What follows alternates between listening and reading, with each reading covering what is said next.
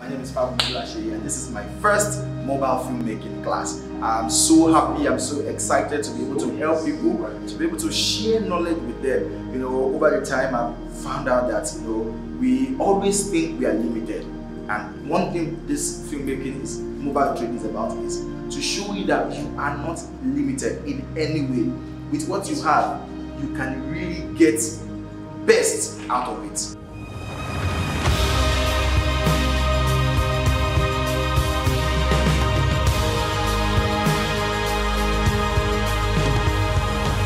Script.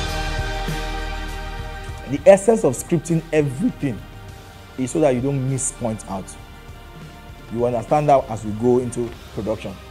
Because here in production where we actually do the filming where you do the filming the lighting lighting directing the acting the actor can say the same thing for like eight times.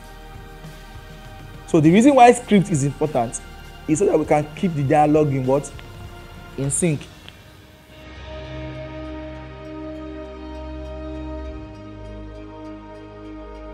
they gave us one small tiny stupid camera that is always black.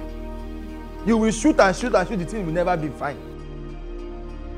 It can never be fine no matter how good you are. So he will follow you.